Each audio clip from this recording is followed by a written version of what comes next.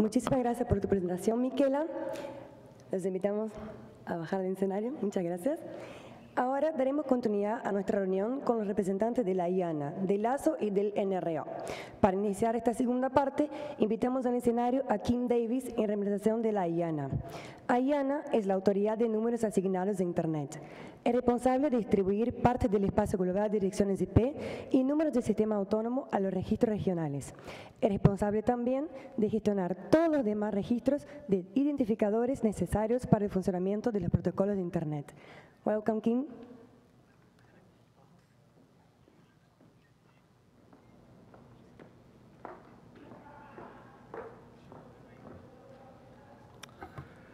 Good morning, everyone. Uh, thank you for the opportunity to share the IANA update with you today.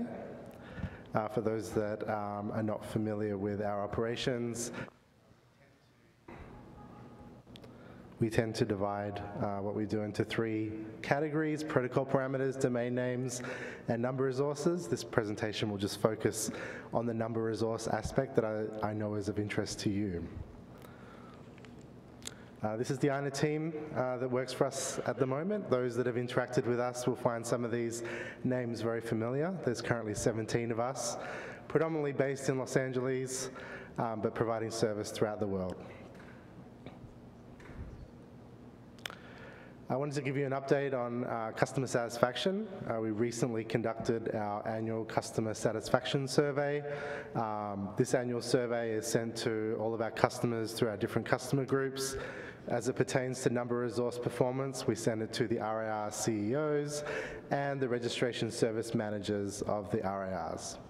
Uh, this year, the participation rate um, from the uh, from this community was 25%, approximately 10% uh, lower than the previous year's average. That being said, it's a fairly small uh, sample group, so I wouldn't read too much into it. Um, with respect to satisfaction, we received 100% satisfaction rating, um, which is consistent with uh, the numbering community in previous years. Um, and all five of the respondents indicated that they did not have any issues with our performance in the prior year. Um, every time we do the survey, we ask the respondents to rate um, what we should prioritize. And once again, um, accuracy and timeliness were um, identified as the key areas that we should be focusing on in performing the functions. Um, one thing that is new that I'll talk about in a moment um, is we're migrating to a new model, um, whereas right now we poll our customers once a year on how we're doing. We're going to move to a model where after every interaction we have with a customer, we, we seek their opinion, and the, the goal there is to really get more timely and actionable advice from our customers.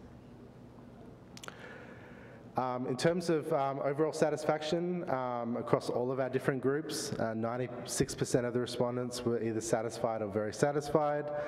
Um, these responses are actually the highest we've ever received, um, so we're quite gratified by that. Uh, I won't go into the numbers due to time, but um, all the details are available on our website.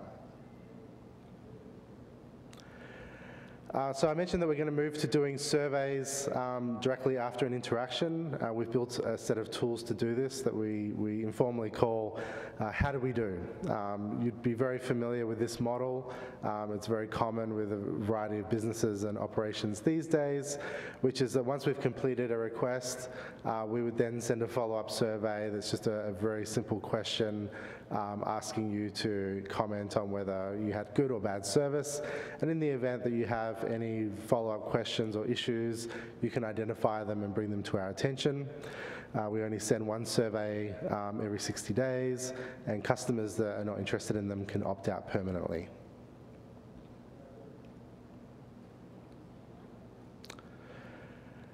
Um, okay, moving on. Um, so we do uh, report on uh, SLAs as well uh, for the numbering community. We produce a monthly report um, that uh, testifies to our adherence to a set of SLAs that were agreed between ICANN and the various RIRs. Um, they're available on our website. You can find them at iana.org slash performance. Um, we've met all of our SLAs uh, in the previous year. Um, auditing is a very big part of the culture of our organization, so I wanted to bring this to your attention. Uh, we just recently concluded our 2018 audit uh, period um, and issued audit reports um, and findings. Um, in particular, we have one audit that is performed against the SOC 2 framework on what we call the registry, assignment, and maintenance systems. Now, these are the, the key systems that we use to do our job. Uh, we have a third-party auditor come in and audit the controls we have around those systems, and we have particular um, controls that relate to the numbering functions. Um, the 2018 report was issued with no exceptions. We shared that with the uh, NRO um, EC. Uh, and we've recently kicked off our 2019 audit program. Um, one thing that's changed this year is the, the framework that we use has changed a little bit. It's actually more expanded, so we're implementing that uh, into our audit processes. One thing that we're building uh, in terms of product uh, is a new dashboard for RIR allocations. Um, Historically, we've used a, a, fairly informal website that was operated by the research department of ICANN to do things like assess the amount of depletion of um, number resources that is then informs the policy that we implement. Um, that website was, was a bit archaic um, and it was falling into disrepair. Um, so we're building something new that is fit for purpose for what we use it for, and this will be on the IANA website. And the idea here is to have a very specific and targeted presentation of all the variables that go into implementation of the global policies for number resources.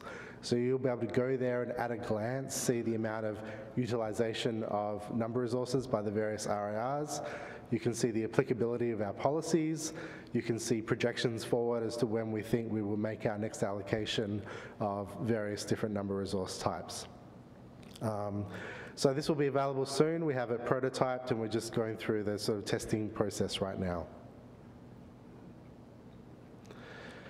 Uh, here's some of the things I mentioned. For IPv6, um, you'll find that there's a state of the various area allocation pools, um, the number and growth of IPv6 addresses in various regions, um, and some of the functionality that was there that doesn't actually pertain to our policy is being removed, um, things like allocation by country and so forth.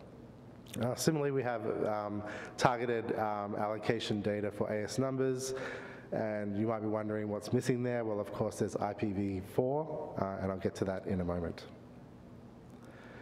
Uh, but speaking of IPv6 for a moment, um, some activity that we've made since we last met is we made a um, slash 22 allocation to RIPE NCC in uh, March. Um, and the goal here was to um, allocate a block that met with the specific request of RIPE NCC. Uh, for those that are very familiar with the global allocation policy, you'll be aware that we're, um, we issue slash 12s for IPv6 allocations. However, in this instance, there was a specific gap in a legacy allocation that was previously unallocated, and RIPE had requested that we fill that gap first, um, and then after consultation with the NRO EC, we agreed it would be a, an applicable um, exercise um, of the policy to allocate just a slash 22 to fill that gap. IPv4 allocation, uh, the story is essentially um, our resources are now depleted um, as of a couple of months ago. Um, we've had in operation for several years now a recovered pool allocation system where uh, the small amount of IPv4 um, ranges that we had available um, that had been returned to us were then divided uh, across the five RIRs in an equitable fashion and every six months we'd make an allocation on that basis. So you can see on the, on the graphic that the allocations have dwindled and dwindled and dwindled. Uh, we made an allocation of two slash 24s to every RIR in March.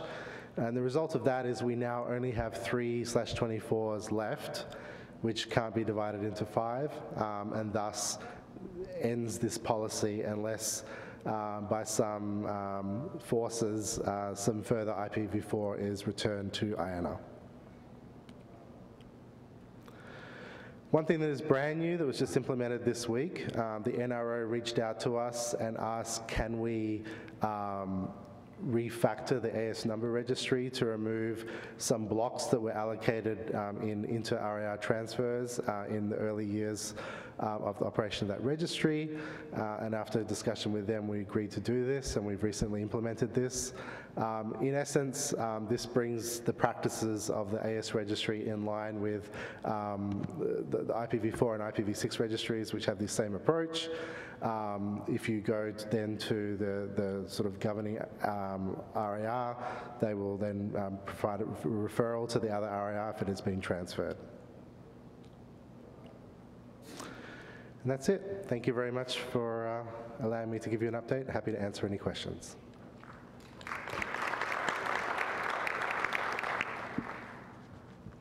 Thank you very much for the presentation, Kim. Continuamos con las presentaciones de hoy, invitando a Ricardo Patari y a Jorge Villa para contarnos de Lazo.